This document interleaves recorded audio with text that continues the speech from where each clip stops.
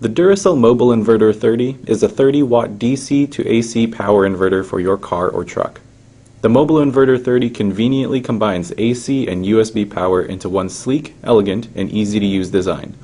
This unit will also simultaneously charge two separate devices. What's also included is a faster charging USB 2.1 amp port, powerful enough to charge and run Apple iPads, e-readers, and smartphones. This unit will also produce 50% less noise output versus other competitor products.